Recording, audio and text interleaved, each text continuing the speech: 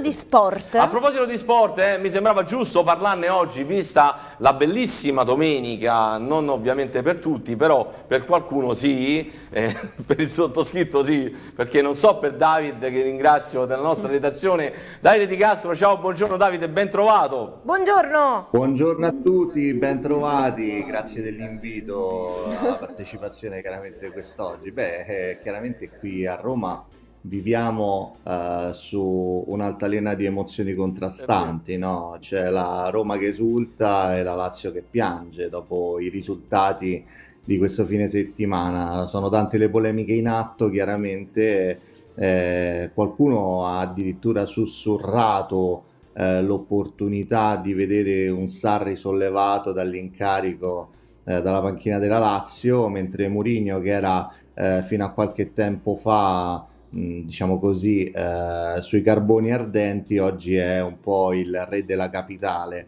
eh, dopo aver riportato i giallorossi appunto a ridosso della zona Champions.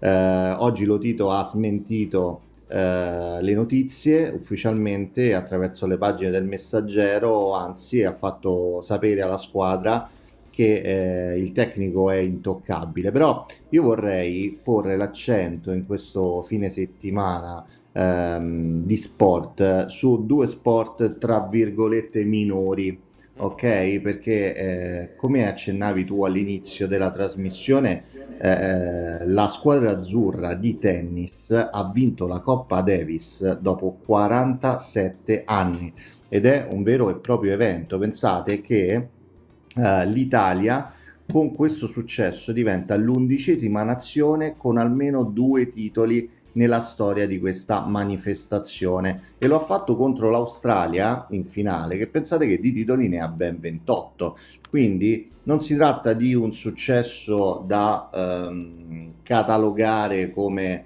eh, attendibile anzi tutt'altro.